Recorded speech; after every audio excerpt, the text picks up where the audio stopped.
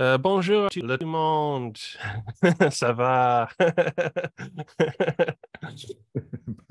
bonjour. euh, bonjour. Euh, euh, je suis avec mon grand ami, ami René Chartrand. Uh, and that's about the extent of my uh, That's French. quite all right. That's quite all right, really. Congratulations. Very good. Uh, the, I, I presume we continue this in uh, France. oh, I oh, certainement, certainement, mon ami. Uh, excuse un moment. Oh, bien sûr. it just runs away. No, uh, unfortunately, my French will not allow uh, me to speak for the rest of this episode in French, although it is an ambition of mine to one day do episodes in foreign languages.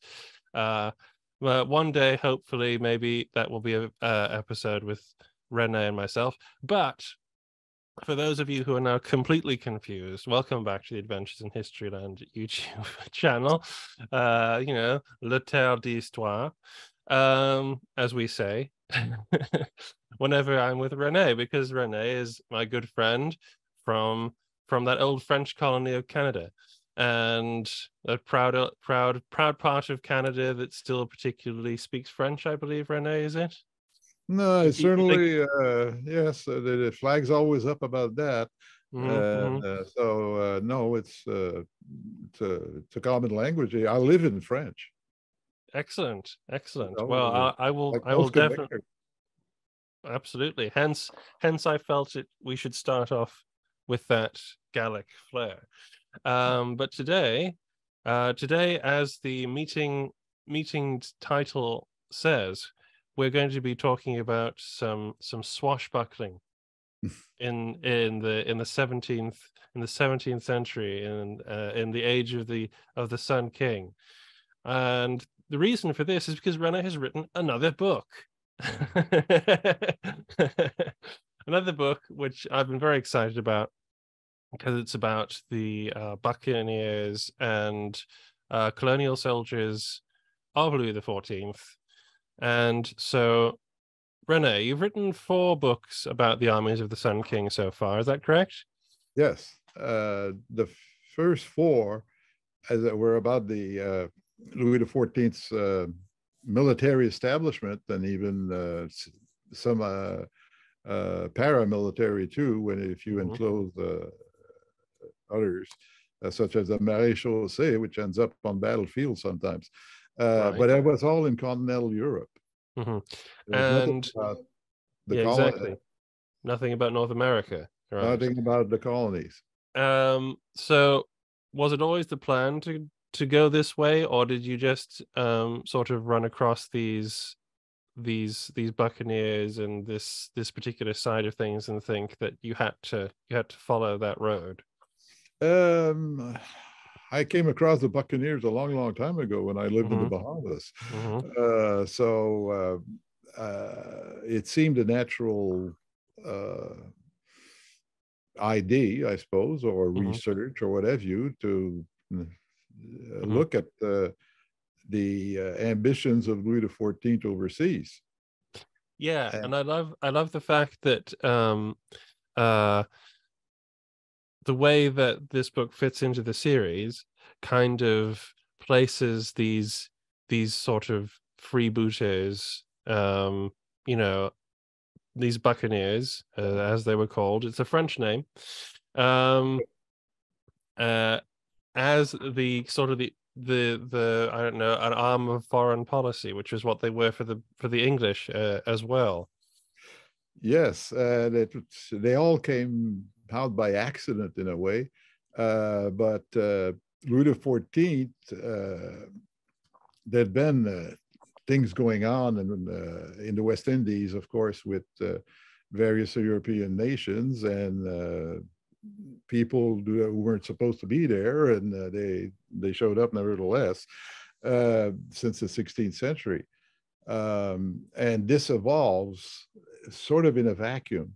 Mm-hmm. Um, why? Because there's first of all the discoverers of America, the mm-hmm. Spanish, uh, made the European discovery, of course. Mhm. And uh, the uh, well, well done. We're not cancelled.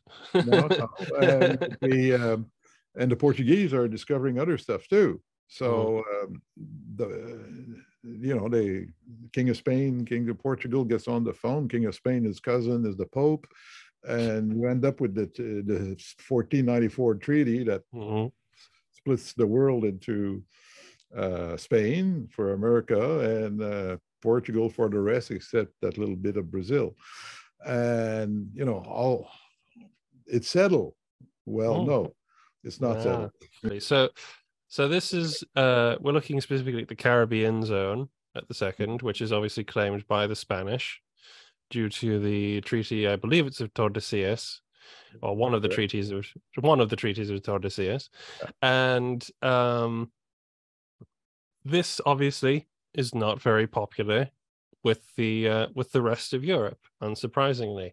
Um, now, as far as I can uh, remember, they would have two choices. You either have to do another treaty somehow, and they have no basis for one. And the only way you can get a basis for one is if you go to war with people. Um, so how how do the Buccaneers fit into the royal angst at Spain and Portugal dividing up the world? Well, when the royal angst uh, happens, uh, it doesn't. Uh, the Buccaneers aren't uh, existing yet. This is in Mm. the 16th century, but Francis I uh, of France and Elizabeth of England, uh, she comes out with an argument about free navigation and freedom of the seas. Francis I says, "Where is the clause in Adam's testament giving the world to to man?" Where uh, I am excluded uh, and my realm is excluded uh, Mhm. from uh, by the grace of God. He said, "Show me the clause, dear Mhm. Pope." Uh, so, Obviously, the King of France is a good Catholic as well, so it doesn't make Uh, any sense on well, that level a- either. pragmatic Catholic, I'd say. Well, yeah, he's just ca- it, it, it- it- Italy, it- you know. well, I mean, I mean, the, the Spanish were doing that too. To be fair, so it's not. Well, everybody he, is, was. he, is, uh, he is His Catholic Majesty or something like that, isn't it? Is the Yeah. title? um, is ca- uh, Sa Majesté très catholic, very, very Catholic. It's very Catholic Majesty. So right. that's a, that's an excellent point from the interest into the Indies really got started, uh, and they're not buccaneers, but uh, they're pretty close to them. Uh, cor- uh, French corsairs out of uh, coastal France, Jean Ango en pa- en particulier, who's commissions a lot of corsairs, and in 1523, I think, or 1522, they capture a couple of Spanish ships off the Azores. And when they find the hole, they're- those things are carrying uh, Cortez's treasure. Hmm. That makes wow all through Europe. And after that, for about 80 years, uh, you know, everybody uh, Mm. descends on the Spanish Indies to to see what uh, they can pick up. Um, by the that time, it's not only wonderful people like Drake and so on, uh, which are unjustly, by the way, uh, in my view, and uh, I stated in the book and I explain it, uh, treated as pirates and so on. Right. The the Spanish gave themselves the Spanish um legal tools in Mm. the Spanish law of the Indies, which uh, there's a decree in there, which I'll look at the date. Yes, 1556, uh, 46, 56, 56, where uh, basically they have a law saying foreigners have no business on Spanish Mhm. land. Sort of sounds like uh, in uh, in Ukraine today, uh, the Russians. And um, you know, if we ca- any, so anybody, any official, every whatever catches them, and they happen to have some booty or something, uh, you can kill them on the spot. yeah. Mhm. It's a license, it's licensed to Mhm. kill. Yeah. Later on, uh, buccaneers start to they're adventurers, mostly from France or from other countries, that sort of wander on the coast of what is now Haiti and other islands, but especially there. It's Mhm. then it's not barren, but it's not populated, and they become more or less, uh, you might say, uh, uh, woodsmen. Yeah, And small, small groups of people, groups, um, living li- living very savagely. There's no women uh, to speak of, and this sort of thing. There's very few natives too, uh, Amerindians. Yes, the Spanish. The Spanish had already seen to that. Yeah. uh, yes, but uh, in fairness to the Spanish, uh, there's also the viruses, and uh, yes, this of course. this yeah. happened in Canada too. Oh yeah, it was a thing across the the depopulate. Yeah, the Uh, depopulation of the Americas is They, huge. some estimate that the nine out of ten died Mm, over uh, you know uh, over 50 Mhm. 100 years. But this is where the this is where the Buccaneers get their name, isn't it? Yeah, well, Because, because what- they're what hunting uh, wild pigs, wild uh, boars, and things like that, uh, which are running around, uh, and um, they smoke them. And you, for that, you have to have a boucan, Mhm. And it becomes boucan, boucanier, boucaniers, buccaneers. Uh, and um, then they have to face the Spanish, who, when Mhm. they see them, kill them. Yeah, because it's a law. It's fine. You know, you're, Uh, you're not Spanish. You're not. You're not a subject of the. and, and boucaniers have are the you know the the dregs of society uh, because of course they kind of they come out in the first place uh, they uh, they have no allies no uh, nobles protecting them nothing uh, you know they're so the Mhm. spanish think they have a wonderful uh, uh, chance here to get, really wipe them out doesn't Mhm. work that way No, Uh, there's uh, and, a- and there's this big animosity that grows between the Buccaneer and the Spanish, obviously, because of this. are very right and i sort of uh, again in this book i sort of uh, explained in the early chapters that the boucaniers uh, were not really pirates but they uh, to the spanish they were and they still are with spanish Mhm. historians. But the boucaniers uh, some of them had seen eventually uh, in Tortuga and places like that when the Spanish came, and they had a few families and everything else, which were massacred, and uh, and uh, and they had a, they came to this white hot hatred of the Spanish at any time of the day, night, or uh, year, whether there was a war going on in Europe didn't matter to them, Mm. uh, but it didn't matter to the Spanish either. There's all sorts of you know raids by land and I- sea. yeah, and the I, I, the Buccaneer the Buccaneer had um, little canoes, and if they saw a Ah. Spanish ship passing by, Yeah, they would well, sometimes sail out and have a go. we don't i couldn't find and i couldn't find a source that gives you you know the exact date and everything Interesting. Mhm. uh, on how when this happened but there is the Mhm. story of this uh uh boucanier who sort of took to uh a little boats uh, a little boat and captured a galleon full of gold Mhm. and kept part of the Spanish crew on board, uh, left the others on an island. Uh, this is this must have happened in the Bahamas, and um, then uh, sailed to France. Never never was heard again uh, of Mhm. again. You know, obviously bought a chateau and drank wine for the Mhm. rest of his uh, days along with his crew. But uh, some of the crew came back, and uh, the word got around, and pretty soon everybody had a little boat. Yeah. Uh, uh, yeah. After that, and there's a a, a strange a strange sort of undocumented transition from these sort of hunted woodsmen who are fighting this sort of petty guerre against Spain. yeah, To- it- it- exactly. It was a permanent, uh, a permanent thing, and there's plenty of incidents uh, that I relate, uh, uh, and you could relate thousands more, I suppose. Uh, but uh, there's a chronology of some of the main things. Uh, but it's not only about the Buccaneers. Now, Mhm. the 17th century goes on. The first half of it sees the first British and French colonies, and uh, in the West Indies, which they sort of share at St. Kitts at first, and then they fight each other, and you know the usual adventures. Uh, the Dutch too, and everybody's sorry, because Spain's power is decreasing, Mhm. its naval power in particular, and so uh, in that period, you start to see more of this, and the Spanish can't really enact their law anymore. Yeah. Uh, Just quickly on the law, yeah. that example you you you uh, used of Sir Francis Drake, um, I think I've ne- I haven't thought about this before, but it does make a lot of sense. The Spanish call them pirates. Now the British or the English like to call themselves privateers. Also, not technically true, because you have to be at war to be a privateer. But yeah.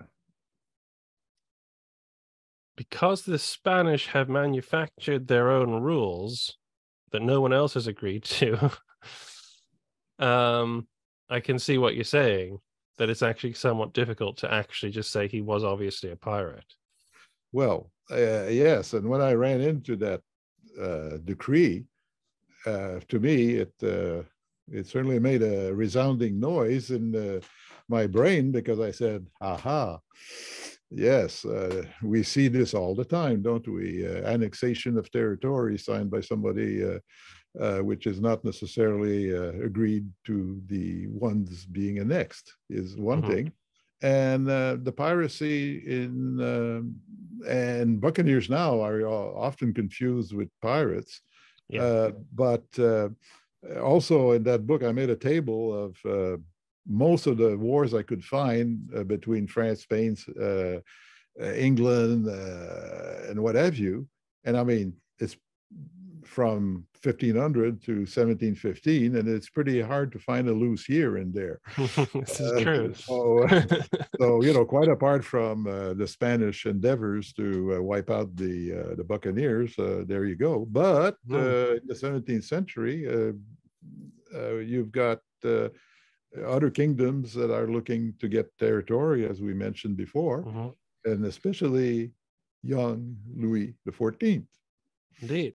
Yes, in the West Indies, uh, there's been, and in Canada, uh, New France uh, too, uh, there's been various little tries to, since the 16th century, incidentally, to have French establishments, even in Brazil, uh, everybody got wiped out in various ways.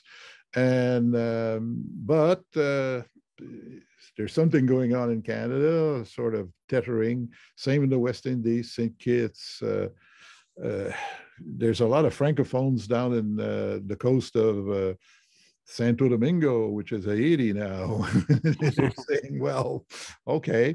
And um, Martinique, Guadeloupe, the 1630s, those are sort of all fledgling.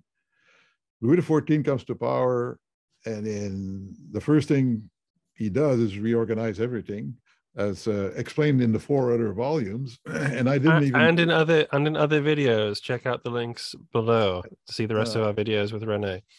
Mm. And so, uh, uh, but he's looking uh, to France's uh, you might say, projection in the world. It's it's uh, it's North America with Canada, New France, Acadia, and all that. It's the West Indies, which uh, you know Martinique, Guadeloupe, and what else can we get there? Uh, and he's also got forays into uh, Africa and the Far East. They're sending fleets of ships and things like this everywhere with royal troops. Uh, so uh, this is during the 1660s, and sure enough, uh, the uh, the West Indies look promising. He's noticed. He doesn't say so in his memoir, but I think that uh, he noticed that the British got a nice chunk of land uh, in Jamaica uh, thanks to the. Uh, ah, yes, Cromwell's little expedition. Yeah. well, yes, they, they, they had some problems uh, attacking Santo Domingo, the, Span- the Dominican Republic now. Uh, but otherwise, uh, they they took a consolation prize. Mm-hmm. So Louis, meantime, has got little islands and things like this, but and French Guiana, which is sort of iffy. Uh, so uh, the play it needs order, you know. Uh, Louis is a great one to sort of the mm-hmm. order, disorder reigned everywhere, and by George, uh, in my overseas territories, I will see to it and so gets uh, this new Royal Navy too is uh, Mhm. getting very, uh, very powerful, very fast. And uh, in 1664, he names a governor general for America, the Count de Tracy, and puts a few companies of soldiers on board, and off they go to uh, abolish uh, and install a new French West, In- West India Company, because many of these are formed by merchants, and they all go in various ways. And this one's got royal backing and money, and uh, and power. So uh, they secure uh, French Guiana at first, put in new governors, Mhm. and leave uh, not too many troops there, but some. And then and then they do this in the West Indies, and they do this in Canada too, Mhm. Uh, because there's uh, the evil Iroquois, you know, that are Ah, yes. Yes. so uh, they sent a regiment there. That's a Uh, whole. That's a whole other video uh, of Oh, the. that's a of, whole other book the, too. the yeah the the the, Well- the wars with the French and the Iroquois. Actually, uh, Charles, uh, think uh, think that that uh, Elian wanted me to do that, but I Ooh, tempting. I was oh not New France again. Uh, and you really have you really have to return to your roots at some point, Rene. well, so what I've written uh, a number of things that were published in Canada en français and in Mm. English about New France, and you get sort of tired after a while. I can understand that. I can Oh. understand that. But the people, the people want it, Renee. The Uh, fans, the fans want New France. Well, I, I keep drinking wine and I don't, uh, I don't do much exercise, so I should live for a long time yet. But uh, no, uh, back to the Louis, Uncle Louis. Um, that is his world plan, if you like. It's the vision that he has, and uh, there's antecedents, which we mentioned earlier, and now uh, he wants to be there. Hmm. Uh, there's uh, time passes, and but in 1674, there's a mili- militarily for the uh, overseas dominions, it's a big event. Um, the Dutch come over with De Ruyter and 4,000 men on board and attack Martinique, uh, Fort Royal. There's hardly anyone there, uh, a handful of Marines on board a, a ship, uh, militia, the governor's guard, and that's about it. Uh, so it's a handful of guys which defeat the, the Dutch Mhm. because Fort Royal uh, is uh, ends up being more of a fortifications than the Dutch thought, and at the same time, De Ruyter said, "What are we doing here?" Uh, so after a, a couple of a few a few days, he said, "The heck with this! We're going back to Europe." Uh, and this was supposed to be a plan to uh, invade, uh, you know, various islands. It didn't work. Mhm. So that was that. And uh, in 1674, uh, that was part of a plan to take all the French colonies. Didn't work out. Uh, Louis, in the meantime, at court, uh, even before that, two years earlier, had made instructions to, gee, uh, better send 600 troops to uh, uh, to to the West Indies for protection. But you know, the Dutch war was starting; they didn't get to it. Uh, and it's once he heard about that, he said, "You are going to go and send 800 men right away." Mhm. to uh, yes, but sir, we the army is full. He said, you know, then you're the navy, get something, uh, and and they get him out. Mhm. Uh, eight companies uh, or ten companies, I don't remember, but uh, and their job is to become the garrisons of the French islands. Mm. It's permanent garrisons, and uh, these will be are the first permanent uh, troupe de la marine Mhm. uh, because they tended to, you know, hire them, and then when the cruise is over, well, okay, we'll talk to you later, and uh, the, um, but uh, they, were, and they became uh, Compagnie Franche La Marine in time, Oh. uh, and they were not regiments, and they were under the Ministry of the Navy, and they remained so to the almost to this day, uh, Right. because the troupe, the troupe de la Marine uh, which are have an organization a bit like the U.S. Marine Corps, not the Mm. British Marines. Uh, it's uh, they're still around, and they, in fact, I for the Marine Museum in La Sabretache, I wrote a, a short uh, history of the Troupe de Marine, all of them, Excellent. uh, all of them. Well, the, the Compagnie Franche, all Quite, of them. yeah. Uh, you know, and it's apparently the first time that that's, that's been attempted, so it was sort of fun. I, but- I, re- I remember you telling me about it. I'm, I'm Yeah. looking So forward was- to reading that. Oh well, you know, uh, contact the Sabretache or the Musée des Troupes de la Marine in Fréjus, and they have copies, and in Brest too, and Excellent. other places. Okay, the uh, so that that happens. There's various battles and so on with the Dutch and things like this in the 1670s, but they're getting established.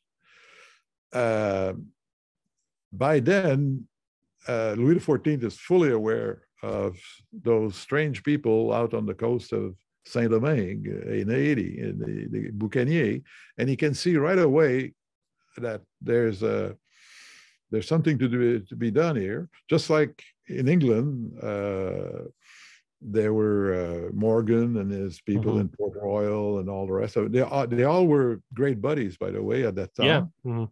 The, bre- Uh, the bre- Brethren of the Coast. Yes. And, uh, you know, there was a Dutchman there too, and so on. Now, Mhm. the English language uh, sources don't concentrate much on the French, but I did. Well, yes, exactly. I was going to say most of the English uh, books in English about you know pirates and buccaneers uh, give you the impression that um, you know it's all very sort of Northern European Protestant proto-pirate thing going on here. But if you look in a little deeper, you find quite a lot of a lot more diversity uh, nationality wise and you know uh, there's a lot of french people involved that don't get a lot of uh, um, headline space Yeah. Well, uh, the uh, and it's a bit confusing uh, the uh, on how it works because Louis the Fourteenth, the son, decides that for one part of the islands in the sun, he's not sending a garrison. Hmm. That's in Saint Domingue, Tortuga, and all that. But he appoints a buccaneer, um, buccaneering type of naval officer uh, as uh, governor. i love Uh, that that's that's brilliant uh, so you know he preempts uh, Henry Morgan and that in Mm. Jamaica uh, by a by a number of years. But well, uh, i mean before port royal became like the buccaneering place tortuga was the place and that was a suit basically a french yeah, buccaneer place there were several. Well, it was um, until the late fifties, early sixties, uh, sixteen, and uh, most of the French buccaneers, uh, well, spread out, but went to a place which nobody knows now, the Petit Gouave. Oh right. Yeah. and that became the Brethren of the coast uh, saint domingue version the, the the big place. And um, it seems to have had a port royal like uh, uh, social life. Uh, and it's good harbor too. Mhm. uh, and so uh, Petit Gouave uh, becomes more and more interesting, and uh, they sort of installed the first fortifications in the 1680s. There's still no regular troops of sort, although there are sort of detachments that seem to show up every once in a while, Mhm. uh, because the the Buccaneers aren't necessarily in. Um, in great uh, in great enthusiasms of getting orders from Louis. No, and by Uh, this point as well, obviously we're getting the fact an, inter- an interesting thing happens, isn't it? Because the Boucanier who are in Petit Gouave um, are not the same, just sort of huntsman kind of hunters of the woods sort of people. These are like adventurers and and people who have come out from Europe, um, looking for cash, looking for Spanish gold, essentially. They, uh, my view is that it is part of the same. Yeah. Some of them are the hunters, and they're still hunting because there's uh, uh, Father, Father Du Tertre, uh, who was, uh, I'm sorry, uh, Labat, who was there in the early 1700s, uh, late 1600s, goes hunting with them. Uh, yes. And he yes. describes them, and they're pretty pretty wild. Uh, and um, I, just... I'm remembering now as well. They're very actually they're still very famous for their skill with uh, muskets. Yes, well, they developed their own musket, uh, and uh, there's technical data in that work as to how this came about and what was this thing like. Uh, well, mm. it apparently it could shoot accurately. It's very long, long barrel. It's a Buccaneer musket, which was known commonly in the 18th century, uh, especially as a ship's musket. But as it turned out, a lot of mm. settlers had them too.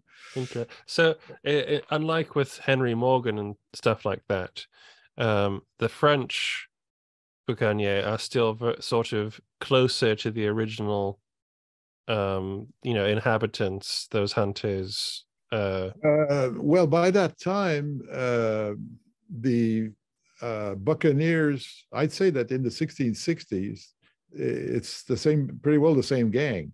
Okay. Uh, but they're they're going to one place or the other. And uh, for instance, I, I, found a a note uh, that uh, uh, when Henry Morgan was preparing his raid on pa Panama, which was, you know, everybody knows about, he at Petit Goâve, they knew about this, and a number of, you know, there was a call, hey, come and join us. And the, the French would do the same uh, with uh, the English buccaneers at that time. So uh, it's and in fact, who was English and who was French is always a good a good question. uh, the uh, and uh, where did the English buccaneers come from? Well, I suspect they were English buccaneers that were on the coast of Saint Domingue. Yeah, I think they were a kind of a mixture of yeah, like drafts of uh, royal troops sent out to garrison yeah. places and people who were already there, and you know they're well, they're a very crazy bunch of people. Well, there's uh, there's suppositions of all sorts we can have because we don't have uh, things like censuses, you know. No. and uh, you get get these thing, you know, events happening, uh, and I sort of looked in three type of sources: the English, the French, of course, and even the Spanish, uh, and uh, how things develop in their side of the the island is uh, sort of interesting too because they're stuck with these buccaneers uh, and they end up having lancers uh, mm. mounted lancers to try to chase them down but anyway that's that's a whole other aspect diving the, a bit deep there but yeah, yeah.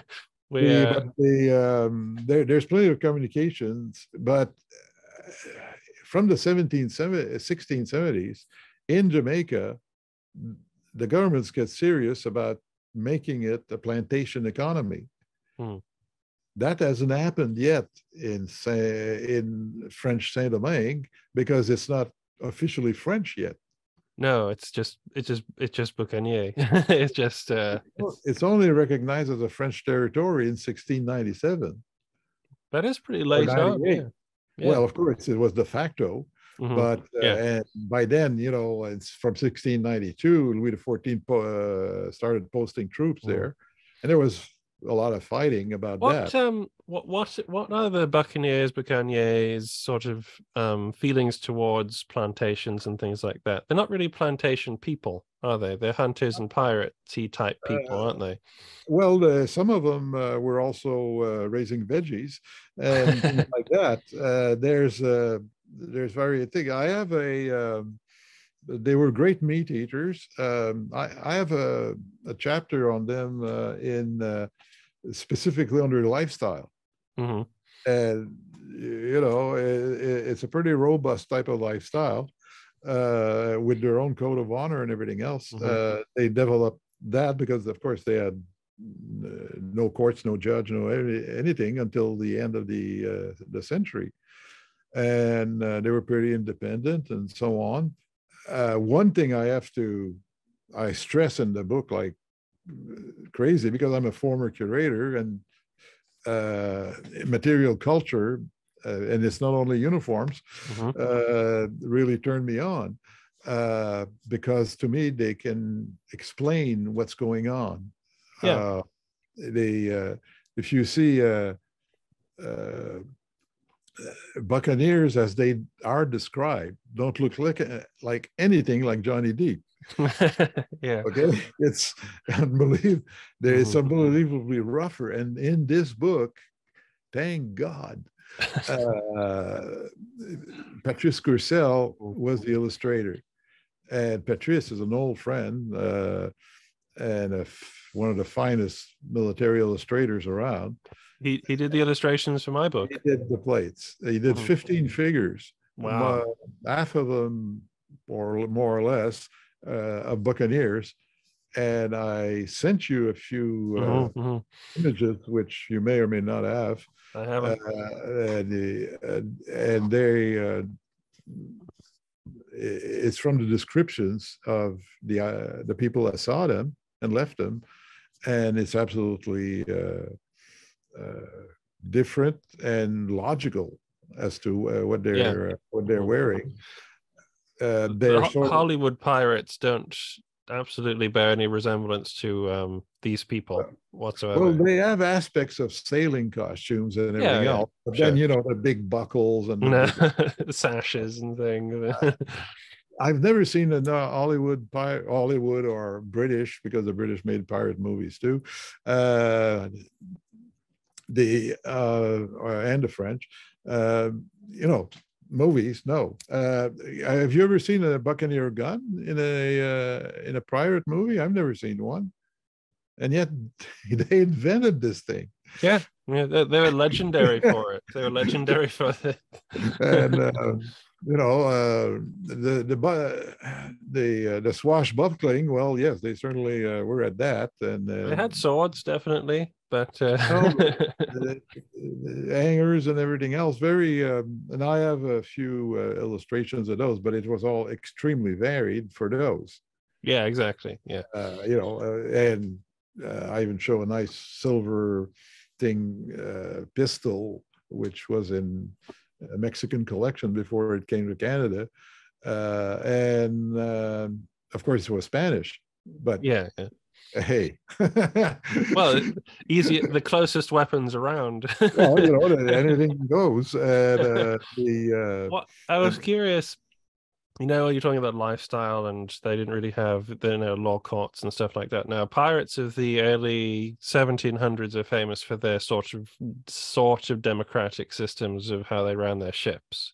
yeah, Did they was- inherit that from buccaneers?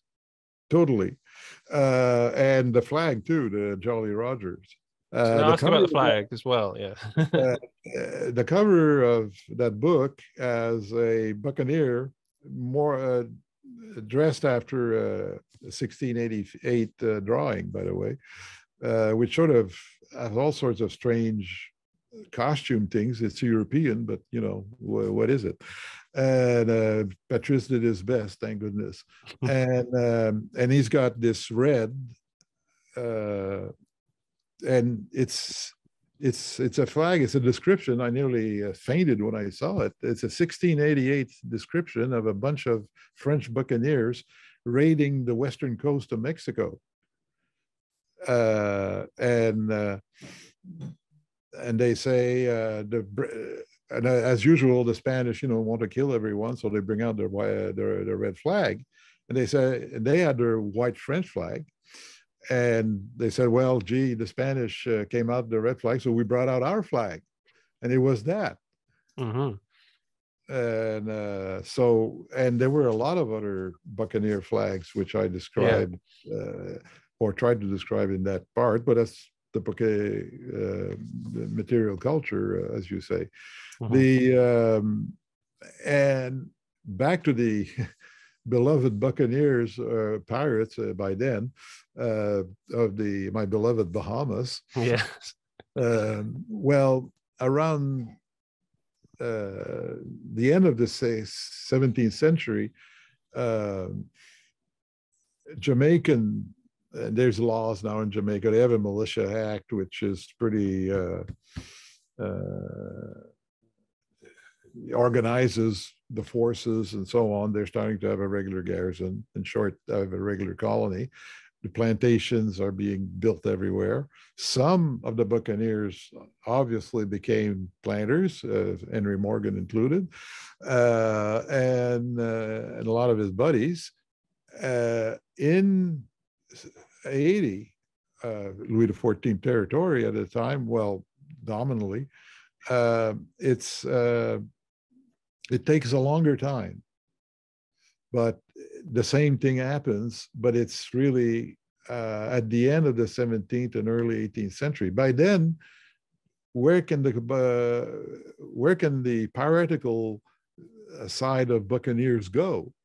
Mm-hmm. Nowhere except in the Bahamas and Madagascar yes. of all places. Yes, uh, these these have very sort of strong similarities to sort well, of the, the, early, the, early, days of Haiti, sort of thing, where yeah. you know nobody's there really, and but these these pirates are actually ex buccaneers in a way. Yeah, uh, to which uh, some uh, bona fide uh, piratical minds have uh, gotten into, like Edward Teach and other mm-hmm.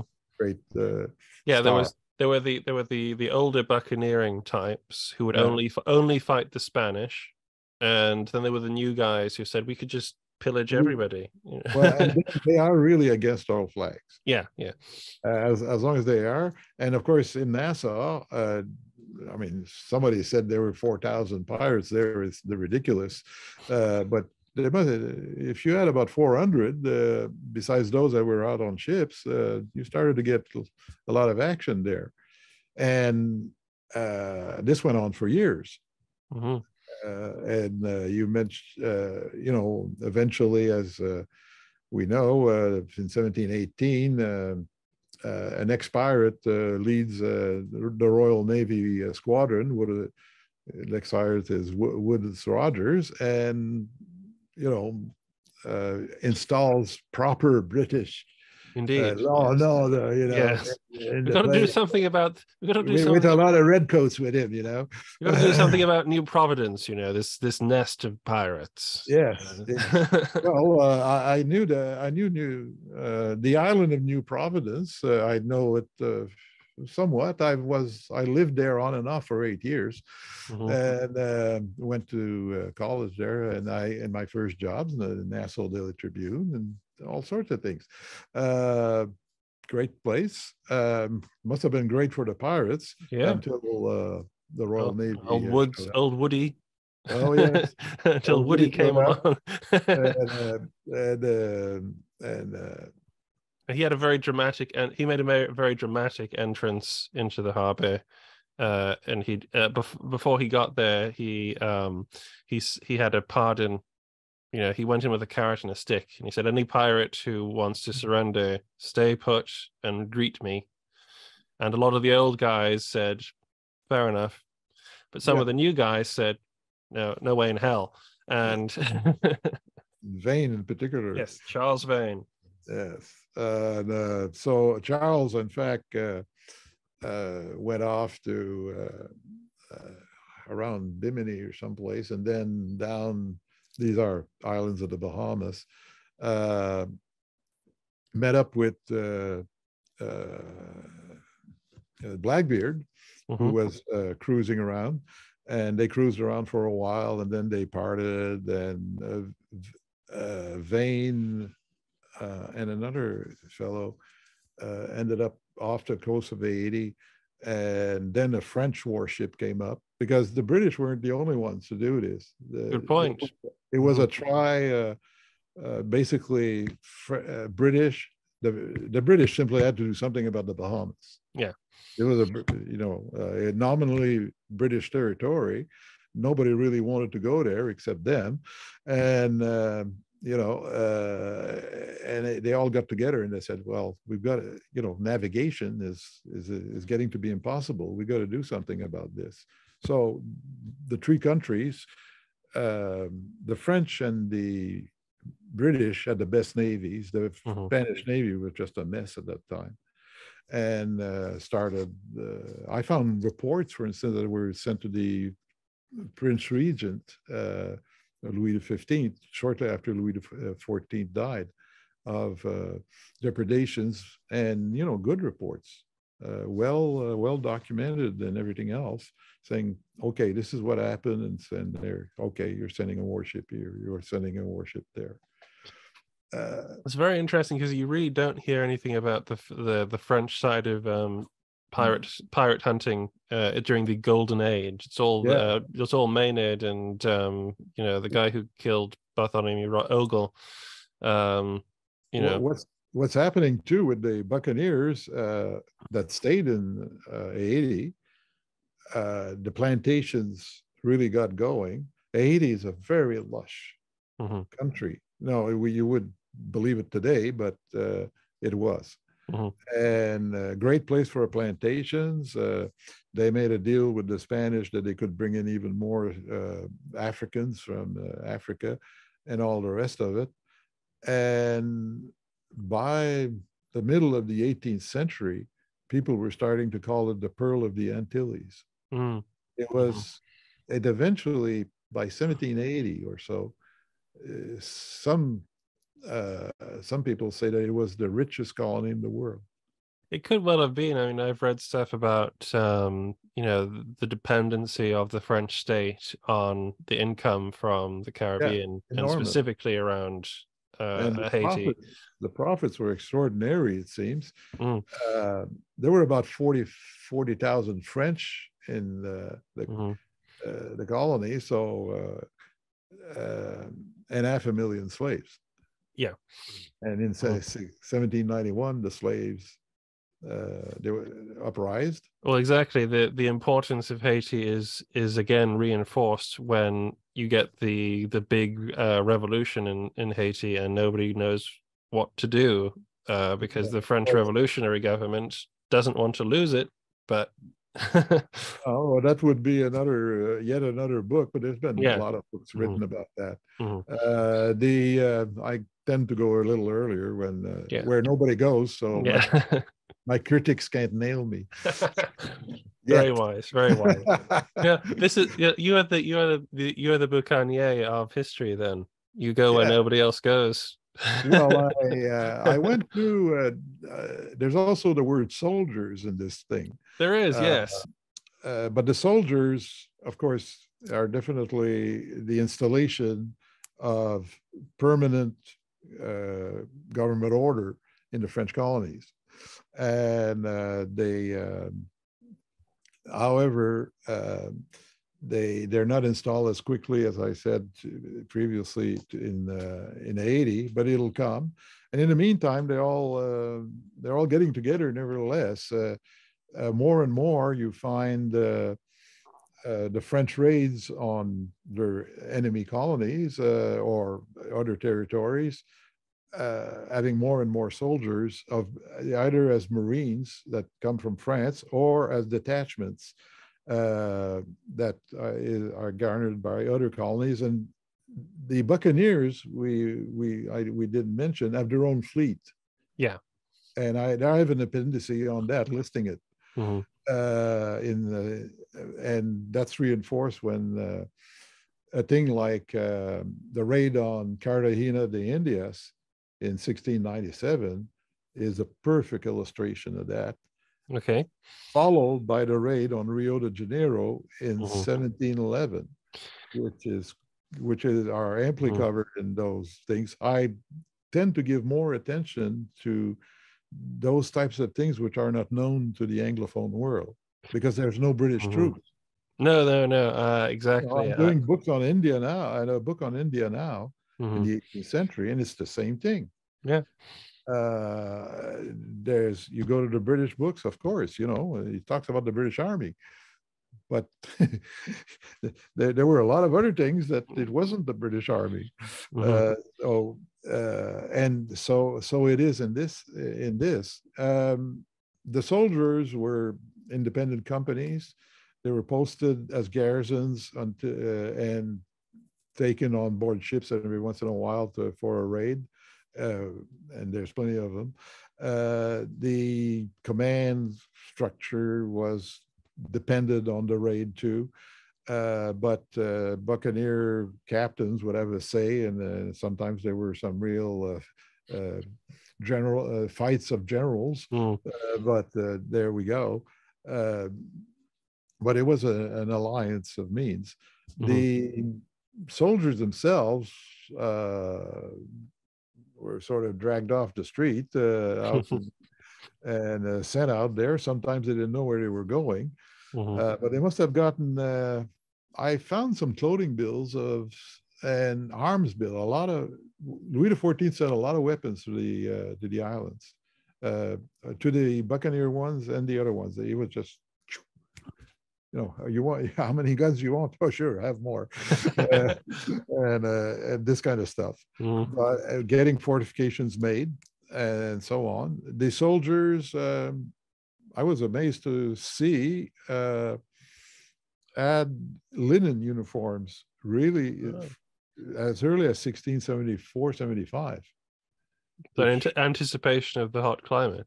Well, eventually they they found that they wasn't always so hot, though there was part of it in, in wool and part of it linen, and it's all explained. But again, Patrice made a number of uh, plates of these uh, people, and these soldiers. And uh, I had the documents, and I guess others do, but nobody had ever made a reconstruction of this. So it's the first time that it's going, like the Buccaneers, it's the first time that that's going to actually be maybe accurate a little more. uh, amazing. Yeah. Uh, but this is why, you know, as you were saying, um, it's it's fun yeah. to go to places where not a lot of people go. Um, because it's a relative thing. It's just that it just there just are not as many people who write about this stuff or or, or study this stuff, and so there there are delightful surprises when you dig into these things. If if people are brave enough to to hunt down the sources and find them. And it's it's in a way it's the same with the weapons too. Mm. Uh, the uh, weaponry in this case uh, is fairly, you know, the muskets are not uh, really well documented, and they are because then we, uh, researching the papers, and I'm not the only one, uh, we found a lot of contracts. Mm-hmm. Now, it doesn't give you a musket, but it certainly gives you what it was uh, supposed, how long it was supposed to be, and a thing for the Compagnie Franche mm-hmm. soldiers. And uh, and there's a whole evolution. When do they get socket bayonets and the rest of it? But uh, uh, in fact, with those contracts, when I was a, a middle-aged curators, one day at a gun show in Quebec City, what do I see but a 1696? Mm-hmm. It's not dated, but through the contract, we could tell. Mm-hmm. Uh, musket, which was mostly there. Mm-hmm some of it wasn't, uh, but uh, God, did I? It's now in the National Historic Sites collection. Excellent. so, all of that, all of that has been really fascinating to hear, and I'm really looking forward to seeing all those uh, all those color plates Oh well, there'll be uh, all sorts of things, of not, course. Not necess- not necessarily to admit that I only buy books for the pretty pictures, but sometimes they form a big part. I, I, think it's uh, it's a good idea to buy books with pictures, especially when uh, there's such extraordinary pictures to be seen. Indeed. um, other one was the uh, the colors, the colors of the Compagnie Franche. There's not only the colors of the uh, and boy, what a what a what colors these are! They were published earlier uh, before in Canada and in France lately. Mm-hmm. Uh, found this description. Mm-hmm. Uh, it's magnificent red and uh, blue sprinkled with fleur de lis uh, quarters with yes. a white cross and everything else. It's it's been around for a while now. Yeah, that's but, the that's uh, the famous one with the um uh on land and sea motto. Land, mm. yeah, it's uh gee i i really that was uh what over 20 years ago that i ran into that but uh, my goodness uh, uh, michel petard then uh, did a i was working in national defense at the time and uh, right away i called michel and said can you do this illustrate this mm-hmm. he said yeah send me the illustration and of course wonderful plates. Mhm. But um, no, uh, and a number of uh, other color pictures. In color, um, uh, I got interested in the fortifications too. yeah, you, you you mentioned the fortifications and obviously uh, the the importance of the the buccaneer fleets. Uh, supported often by regular soldiers of these, you know, the independent companies and things like that. They're all sort of bonded together by the places where they have to resupply, and those are usually fortified places. So, Yeah, they're not, uh, um, especially the ones in Saint Domingue, uh, Haiti, the Buccaneer heartland of, for the French, and for that matter, Port Royal, Jamaica, is not exactly uh, a greatly fortified place uh, either. Mm. They're not Veracruz, no. Uh, and uh, and not Veracruz. No, well, Veracruz was taken by the Buccaneers by themselves. it, it was, it was. It's really strange. it's really strange, right? Because Veracruz is supposed to be the most fortified place in the Americas, so the Spanish say, and yet the Buccaneers Uh, took it at least I don't know at, at least once, Uh, and they- and I the Americans took it in the 1840s. yes, well, the French, uh, uh, what the, the Veracruz itself is not uh, even fortified for a long time and doesn't have much of a wall uh, because they neglected this. Because I read the Spanish sources on Uh, that. because there's not there's not meant to be any non-Spaniards in the Caribbean. Well, the the citadel of Veracruz is uh, the fort of San Juan de Ulua. Mhm. and that thing uh, i don't think no one has ever managed to uh, take by assault Ah, uh, uh, it was bombarded and everything else it was starved off you know the- the americans did the same thing when uh, in 1846 uh, uh, and uh, before that the spanish the last spanish in the garrison in mexico uh, sat there for two years or so before finally leaving you know you couldn't take it but you could take the city uh-huh. yes, uh, yes. The Buccaneers uh, weren't interested in 1686 uh, in taking San Juan de Ulua. What they were interested in is looting the city. And Yes, gosh, uh, they, they, they certainly did. A Spanish squadron or a number of ships showed up and didn't dare go in. Mm, And neither did the garrison of San Juan mhm, at the Ulua. mhm. So that was that. I'd say that in I've seen the fortifications of Havana uh, after the British siege, what they built there, and again, nobody really wanted to go there again after the British siege. Mhm. Uh, the um, uh, Cartagena de Indias, I spent a week there, Mhm, and uh, that's another tough one. mhm. Uh, the French, uh, um, the British tried to take it in 1741, I think it was. yes, they did. Blas de Lezo, Uh, it, didn't work. it didn't work. Uh, El, El Medio Hombre. Yeah. Lezo, well, indeed, what a it was a superb defense. Mm. And um, you know, it's always funny to read British histories when they're not succeeding, but they're making look like, oh no, but we could look, uh, you know, uh, some other place yeah. in the south of Cuba. Okay. Uh, now I, I got to give them laurels for uh, taking a place like uh, Havana or wow. Yeah. But uh, and uh, there you go. Uh, the uh, there there were um, difficult places to take. I mean, seven again. I in Rio. I was in Brazil uh, in Rio several times. Mhm. Visited the forts there uh, some of which date to the 17th century, and it was uh, a job to uh, the bet. seven, Duguay Trouin's raid in 17. I was going to say it was Ooh. it was Duguay Trouin, wasn't it? yeah. Uh, there was a now uh, for, for for the undoubtedly confused people who are at this moment scratching their heads. oh okay yeah, Okay. yeah. Uh, we have not actually mentioned specifically any famous, you know, he's a he's a corsair technically, I believe, or buccaneer, but we haven't mentioned names very much. Now, Duguay Trouin, there were ships named after him. He was a legend.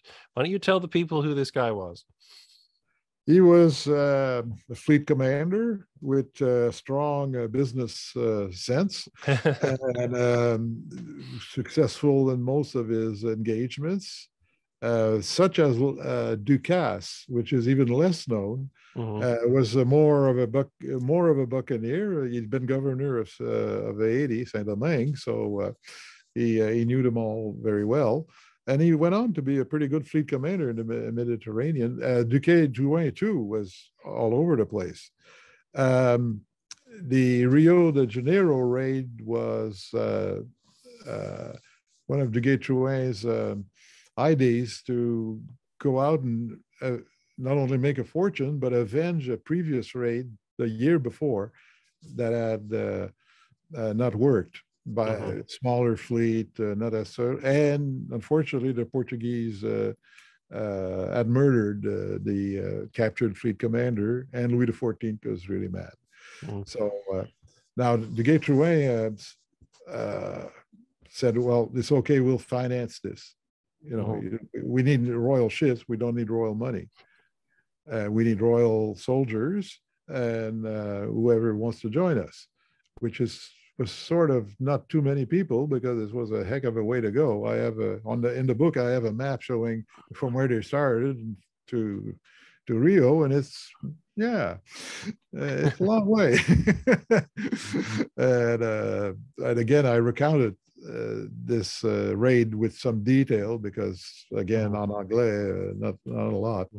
Um, uh, the uh, but there were some Louis XIV's period. Uh, I wouldn't. Uh, there were some defeats of the French fleet, that's for sure, but it was no Trafalgar.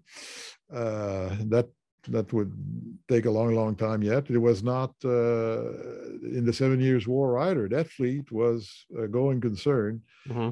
and as a fleet, as another fleet commander, which uh, with uh, buccaneer instincts, was a Canadian and that was Iberville, Pierre Le Moyne right. Iberville, who mm-hmm. uh, became renowned for his raids on Hudson's Bay, mm-hmm. and then went down to uh, the West Indies and the American coast. Uh, happened to build a little colony uh, uh, on the Gulf Coast, uh, which eventually became French Louisiana. Ah. Ah, heard, heard of it. Heard of it. yes, yes. I, I, left a few Marines there to uh, be there for five years before they finally sent a garrison. But uh, this is back 1699, 1704. Mm-hmm. And West Iberville doing the meantime, well, he got the, the fevers and sometimes he's sick. But in 1706, he's back in the West Indies. He'd been there before doing some unfriendly things. and uh, the uh, uh, conducts a raid then on the British islands and especially Nevis, right, which was uh, a hotbed of the British uh, corsairs by then, mm-hmm. and he destroys Nevis. Mm-hmm. Period. Uh, the, the whole place, uh, he takes it. There's a, he's even got a company of what some people call Canadian buccaneers don't ask me, but he, don't ask me why, but uh, you know, there it is. And um, I ran into the memoirs of another Buccaneers, a fellow named Beauchesne, right? Uh, who was, uh, you know, uh, uh, kidnapped by Iroquois as a baby, as a child, uh, somehow makes it down to Acadia, Nova Scotia today, meets Buccaneers there. because they go around corsairs and ends up in the west indies and eventually ends up a buccaneer captain uh, and uh, uh, is uh, with um, yet another uh, uh, french raid on this time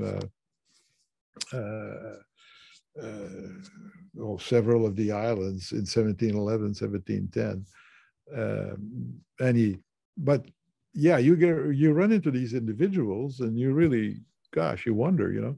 Mm. I mean, the the the British have Morgan and a few a few more. Yeah. Uh, the French sort of know about these, but not too much. And of course, uh, with the language barrier, you just uh, in Canada, most people who are interested in history know about Iberville. Right. I think Yeah. I've even heard of him Yeah, in, in, in sort of passing. he, he, he was active on land and sea, and in fact, he was a, a squire, a sire uh, of one of the richest families in Canada. It was the fur trade, so Mhm. him and his brothers were very. Uh, they all, some of his brothers and him ended up being in uh, French Navy school. Right. So married them on you could you could absolutely make your fortune out there uh, in these in these adventurous sort of ways if you could. Now, I think if there's any name that English speaking audiences will know of of a of a French buccaneer, corsair, pirate, what have you, it'll be a fellow called Francois L'Olonnais. L'Olonnais. A very nasty piece of work by reputation. Um, He was a real true buccaneer. mhm. uh, came from L'Olonnais from the region of France. You know, buccaneers uh, went by nicknames a lot, yeah. and so I mentioned a few of those. Uh, and um, he was a cruel Mm. uh, fellow uh, with a white hot hatred of the Spanish. Who else? Uh, Mhm. There's the famous print where he's tearing a heart out. Yeah. with the booth. That's the that's the famous one, yeah. yeah, well, you know, uh, the, the 1678 uh, edition of uh, Oxamelin, Mhm. uh, or he goes by several pronunciations of this name. And um, well, the 1678 is, uh, version is in Dutch, I think, but uh, eventually it comes out in French, uh, English and French. Uh, but the prints are interesting. I reproduced a few in there, but don't, especially when he's throwing structures and everything else. It, no, it's uh, you read the text, you look at the print, you said, hmm. uh, the uh, the engraver, an artist out in in the Netherlands, uh, really didn't have any sketch as to what it, it looked like. Mhm. It came from Panama and so on. It looks like a Dutch uh, Mhm. town. Uh, Yeah, yeah. uh, the, but uh, you know, it didn't look it didn't look like that. It seems. Mhm. And uh, another Yeah. place I've been is Panama, as a matter of fact, but it's the new Panama. Mhm. Uh, they rebuilt the city after the war. Uh, well, Yeah, after Morgan's grade by 1678. Uh, and I uh, had the Panama archives because I always tend to go to the archives when I travel. Uh, the there was this nice map of it, so it's reproduced again, again in, in it, but uh, as rebuilt. Nobody attacked it again. It was fairly, uh, Mhm. uh, fairly So-. Th- There you have it, ladies and gentlemen. This book is a treasure trove, uh, a pirate's treasure trove Yes, Oh. that of stories and material culture and people you never heard of uh, before, which you really need to. I'm looking forward to learning about these people because, as you say, if it's not in English, you- you'll only maybe get a name or a sentence somewhere. Um, maybe. Uh, but uh, oh, I I have a chapter on where did the money go. that's a good one. That's a good one. It was Well- fun, but there's no records. well, we won't give any. We won't give too much away. Then you'll have to. You'll have to read the book to find out where the money went, or we'll do look- another. We'll do Look at the pictures. I spent a lot of time working on yeah, make sure you look at the pictures. no, no worries Yeah. there, René. No worries there, René. thank you. No, but yes, exactly. Thank you very much for coming back to uh, Historyland to talk to me about you know the many the many ways Louis the many ways Louis the Fourteenth, you know, expanded his power across the world. Such an inspiration, you know. yes, I have his I have his picture on my wall. Uh, but yeah, no, uh, it's always a, a complete joy to to talk to you, René, about history, and you know, uh, you're welcome back on his, on this channel anytime. Fine. What's next? that is the question. What is next? And with that thought, ladies and gentlemen, we will leave you until the next adventure in Historyland. Thank you for watching. And thank you.